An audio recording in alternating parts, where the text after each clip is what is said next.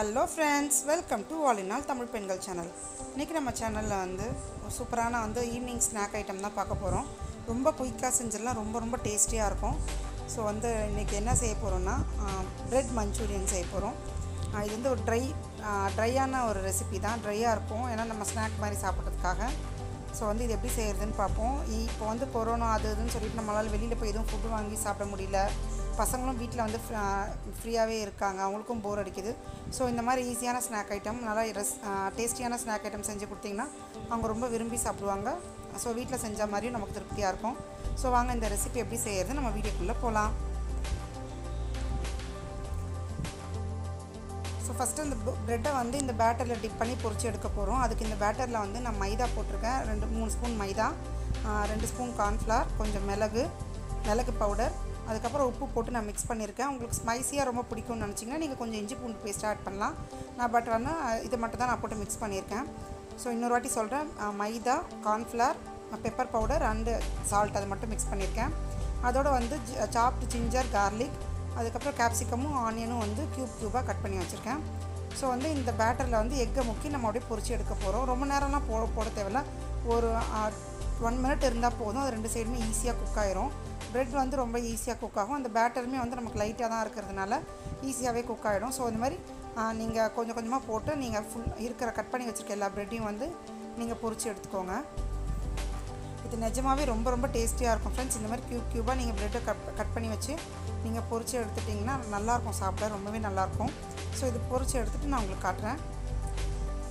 So பொரிச்சு எடுத்தாச்சு. அதே பேன் தான் நான் வச்சுருக்கேன். அதுலேயே எண்ணெய் ஊற்றிருக்கேன் அதிலே பார்த்தீங்கன்னா பொடியாக நறுக்கி வச்ச பூண்டு அப்புறம் இஞ்சியும் போட்டு நீங்கள் வந்து வதக்கிக்கோங்க. இதில் வந்து ஜிஞ்சர் கார்லிக் பேஸ்ட் போடணும்னு நினைப்பாதீங்க அப்படி போடக்கூடாது. மஞ்சூரியனுக்கு வந்து இந்த மாதிரி தான் போடணும். உங்களுக்கு வேணும்னு நினச்சிங்கன்னா நீங்கள் அந்த ப்ரெட் ப்ரெட்டை டிப் பண்ண பேட்டர்லேயே கொஞ்சமாக ஒரு அரை ஸ்பூன் போட்டுக்கலாம். பட் நான் இன்றைக்கி போடலை. போடாமல் இருந்தாலே ரொம்ப நல்லாயிருக்கும் டேஸ்ட்டு போட்டுட்டு ஒரு ரெண்டு வதக்கு வதக்கின உடனே நம்ம அந்த க்யூபாக கட் பண்ணி வச்சுருக்க வெங்காயம் போட போகிறோம் வெங்காயமே வந்து சும்மா லைட்டாக ஒரு சாட்டை பண்ணிங்கன்னா போதும். ரொம்ப வந்து அது வந்து க்ரன்ச்சியாக இருக்கணும் சாப்பிடும்போது ரொம்ப சொத சொதன்னு ஆகிடக்கூடாது ஸோ லைட்டாக வந்து நீங்கள் சாட்டை பண்ணி எடுத்துக்கிட்டால் போதும். இது நல்லா எடுத்துகிட்டு நம்ம வந்து கேப்சிகம் இதோட ஆட் பண்ண போகிறோம்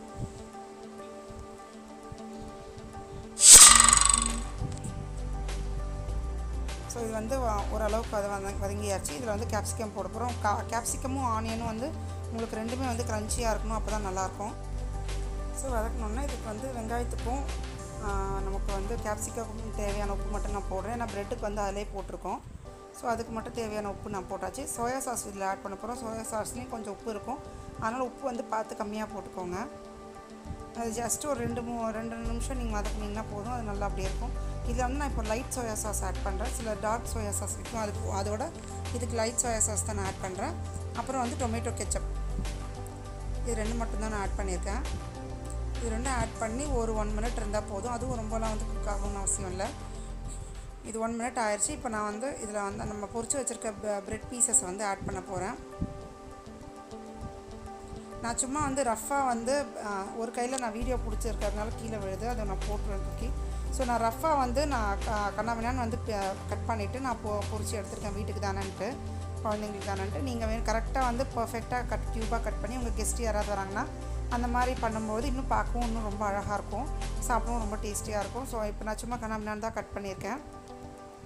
அவ்வளோதான் ஃபஸ்ட் ஜஸ்ட்டு கட் பண்ணிவிடுங்க இதுக்கு மேலே வந்து நீங்கள் வெங்காயத்தழை இருந்ததுன்னா நீங்கள் கட் பண்ணி தூவிட்டு ஃபைனலாக இறக்கும்போது கார்னிஷ் பண்ணிவிட்டு நீங்கள் அப்படியே வதக் கலரிட்டு இறக்குனீங்கன்னா ரொம்ப அதோடய வாசனை வந்து சூப்பராக இருக்கும். எனக்கு அன்றைக்கி கடையில் கிடைக்கல அதனால் நான் வாங்கலை. அதோட தண்டு ஆனியன் இருக்கும்ல அதோட வந்து அதை வந்து நீங்கள் வதக்கும் போது வதக்கிட்டு வெறும் க்ரீன் வெங்காயத்தை மட்டும் நீங்கள் மேலே ஸ்ப்ரிங்கிள் பண்ணி விட்டுட்டு நீங்கள் வதக்கி விட்டுட்டு இறக்குனீங்கன்னா ரொம்ப நல்லாயிருக்கும் அதோடய வாசனை.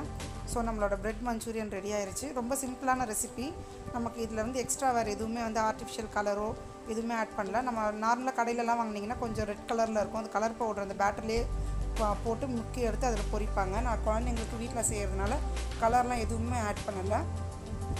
ஸோ ரொம்ப ஹெல்த்தியான சூப்பர் டேஸ்ட்டான ப்ரெட் மஞ்சூரியன் வந்து ரெடி ஆகிடுச்சு இது என் பையன் வந்து சாப்பிட்டுட்டு எப்படி இருக்குன்னு சொல்ல போகிறான் எப்படி இருக்கு சொல்ல சாப்பிட்டு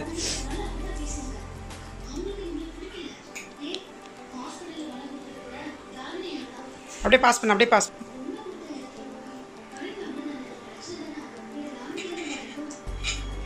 ம்.